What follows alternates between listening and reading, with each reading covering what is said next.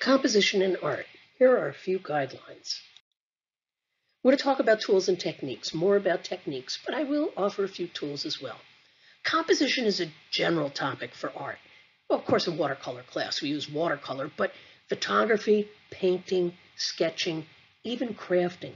Think of why a quilt might be attractive or a particular wall hanging. Any of the visual arts, composition is important.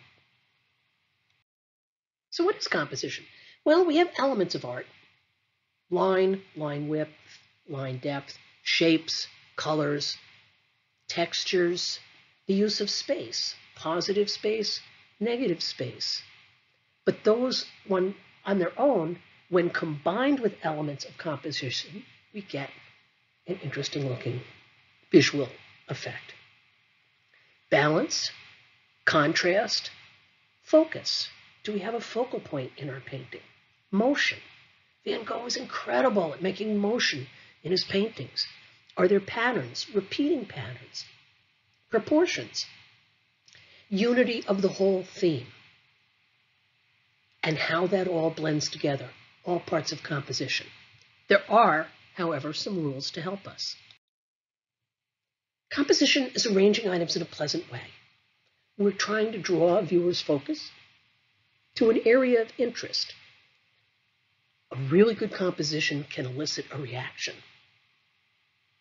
Ideally, maybe I just want to sit and look at it because it's so peaceful, or it's just so interesting the way that is.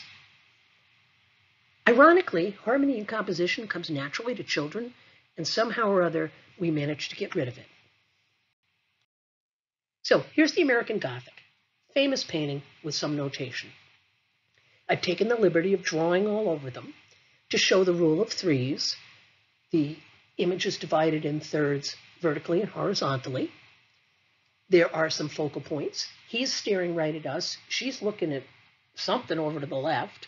The pitchfork, which I highlighted in red, certainly a focal point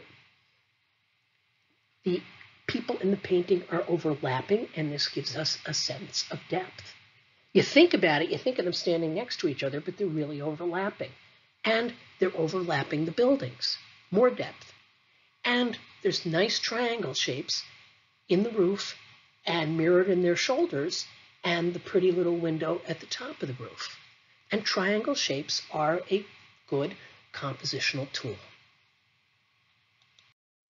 I've taken the liberty of drawing all over Van Gogh and putting in the thirds. So this left-hand spire tower is in one third.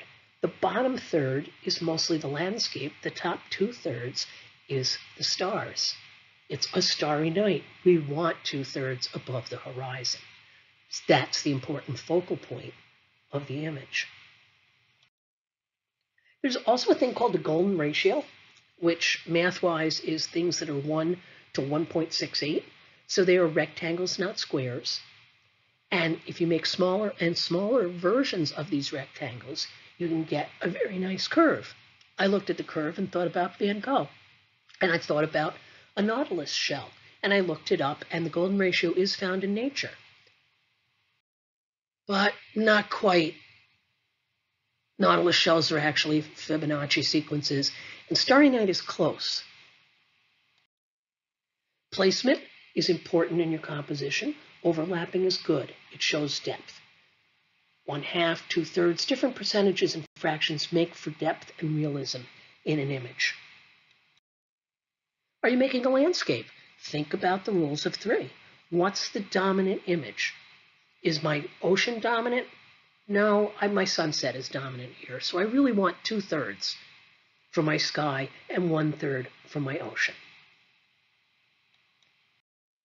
Other compositional techniques, just a few quick pictures here. Upper right, we have framing, what it would look like out a window. An L shape. In this forest, we have an L shape of the trees. A triangle shape we talked about in American Gothic, but here's a nice triangle of apples. A Z shape, great for a winding creek or a road. And strong diagonals, here I've made a winter and a summer strong diagonal. So what kind of tools do we have as artists? We can make an image frame, as simple as taking some pieces of mat board that you could extend and expand to make a rectangle and look at your images through that. Take a reference photo. Take that reference photo, scan it, or load it into your computer and hit it with Microsoft Paint. And then you can crop and change and move it around and get just the elements that you want. See something interesting out and about? Take a picture with your phone and manipulate it to be your reference photo. And of course, there's always physical location. You want the classic bowl of fruit, the best thing to do is get that classic bowl of fruit and set it all up. So I hope these little tips were useful to you. Um, one quick slide of my citations and I'll be done. Thank you.